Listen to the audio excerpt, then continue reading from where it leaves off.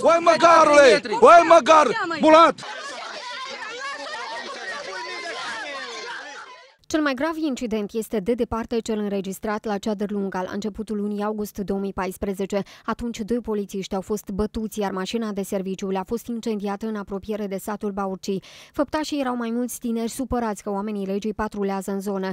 La scurt timp a avut loc un alt incident cu implicarea oamenilor legii. Un bărbat din capitală a deschis focul și a împușcat patru polițiști și doi civili. Da pe uite, l-a nimerit în pânce, în mână. Ați chemat ambulanța? Da. Totuși, cele mai frecvente sunt cazurile în care polițiștii sunt înjurați sau luați la pumni. O fac până și preoții. Domn Nicolae, coborâți. Băi, e o luptată aici! Domn Nicolae, vă rog, Pentru coborâți. Moldova noastră! Nu Dar de... tu nu poți să mă f*** pe mine! Cel mai recent caz a fost înregistrat la Telenești. Un șofer beat i-a prins degetul în ușă unui inspector de patrulare care se afla în misiune de serviciu, apoi l-a târât câțiva metri. Și la Mingir Hâncești, oamenii legii au fost huiduiți, înjurați și în direcția lor au fost aruncați bulgări de zăpadă.